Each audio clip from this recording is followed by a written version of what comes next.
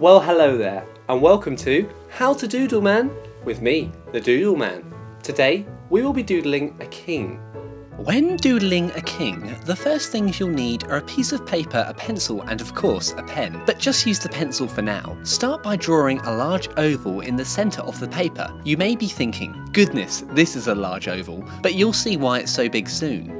Move your pencil to halfway down the oval and draw a line directly from one side to the other. Then move up to the top of the oval and draw a slanted sausage to sit on the top sideways. Now three mountains on top of that slanted sausage. Three pearly circles are then placed on these mountains and soon you see a crown appear. Add a drooping sausage shape down the centre of the top half of the oval. Draw two slanted lines down on either side of this drooping sausage. One large mouth shape goes under the nose. Now, a mouth could be any shape, but this one is kind of like a sideways pancake landing down. There you go, ready for the pen?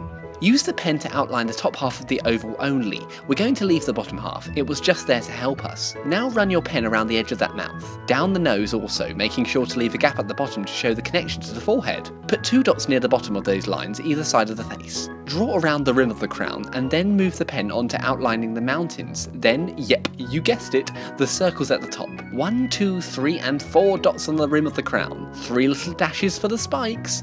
Now we can run a line across the mouth from left to right. A squashed M letter shape at the bottom of the mouth to create the tongue. Fill that mouth with black ink as the final touch.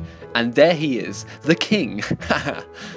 Remember, creativity is very important when doodling, so I would urge you to experiment with your king doodle. There's so much fun to have. You can exaggerate the features we have created. Here are some kings I drew earlier. A diamond face king, an extra large smile king, a big nosed king, an extra long nosed king, a big beanbag face king, and a king whose crown is simply too big for him.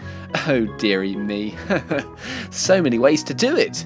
I've even taken the time to add my king into an even bigger doodle. By creating more and more characters and things, you can create a whole bunch of stuff to stand next to the king.